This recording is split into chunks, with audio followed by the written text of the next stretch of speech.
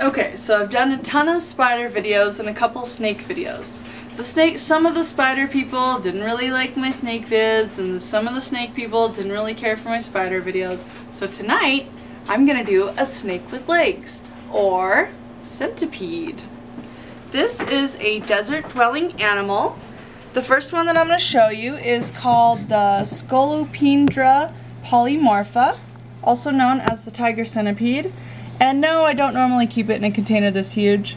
Just using this container tonight to show you guys some of the different animals that we've got. So here he comes, popping out of the top here. And you can see why they're called the tiger centipede.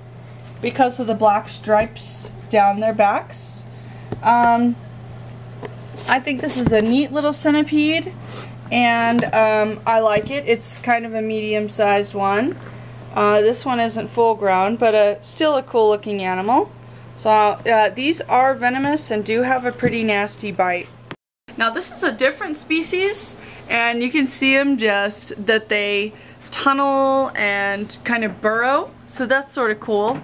Looks kind of like a, the way ants do in an ant farm. Now this species is the Scolopendra heros castaniceps or the red-headed centipede. And you can see it's got a black body and a red head. Little cutie. These are uh, grow a little bit bigger. This is kind of a young one. Um, now I'm going to show you one that's a little bit older. So this is also the Heros castaniceps. And um, these will go after you, so I'm being very careful. But you can see it's quite a beautiful animal. And um, the word centipede actually means that it has 100 legs or 100 feet, I believe. But um, these actually only have 21 to 23 feet, and it can vary from specimen to specimen. Okay, so this is the third specimen of red-headed centipede I'm going to show you. You can see it's got a nice girth to it. And um, so, I know that some people have trouble keeping these animals alive, but I'm going to share my secret with you. Number one, these are burrowing animals, so you need a container that's tall, not necessarily wide, and you need a deep substrate. Secondly, don't use potting soil. Mix sand and coconut bedding. So that's what we do, and our guys are fat and happy. So now, boys and girls, I'm going to do something that you should never, ever do. I'm going to play with it.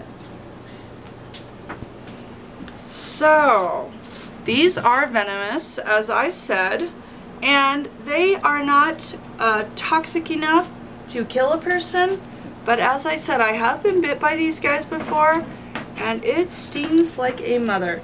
Another thing is, they've got these little barbs on the end of their legs, and they can kind of grab you with them.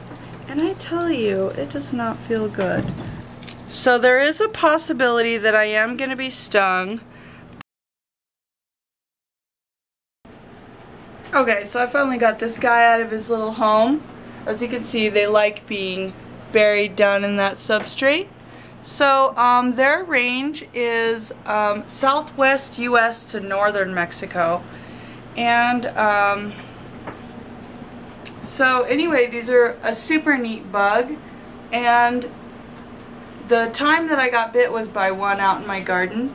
And I pretty much disturbed its little home and it wrapped around my ankle and told me off a couple of times and it didn't feel good. But this little one I've made my friend and I just think they're super neat. And um, I hope you guys enjoyed this video on the centipedes and I'll see you next time.